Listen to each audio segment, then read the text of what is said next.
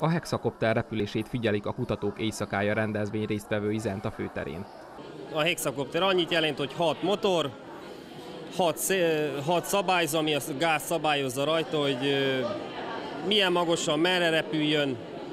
Van neki egy főirányító rendszere, épp most az Ardu pilot ebben az esetben. A különleges eszköz elnyerte a látogatók tetszését, akár csak a Szórád Endre kémia tanár irányításával megvalósított látványos kémia kísérletek.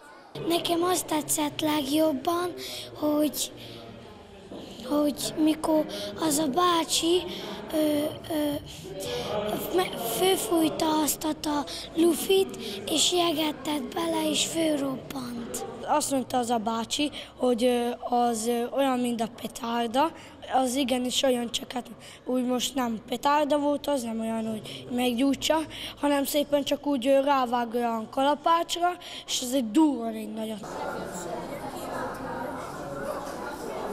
A rendezvényt szervező Bolyai Tehetséggondozó Gimnázium illetékeseinek elsődleges célja az volt, hogy a tudományos ismeretterjesztés eszközei segítségével megpróbálják közelebb hozni a diákokhoz a természettudományokat.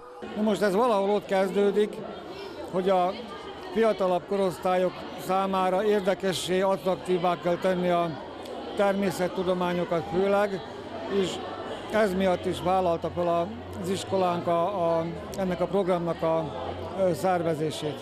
A rendezvény szervezésébe a diákok is bekapcsolódtak.